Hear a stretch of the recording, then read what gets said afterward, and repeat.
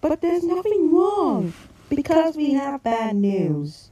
And what is the bad news anyway? This.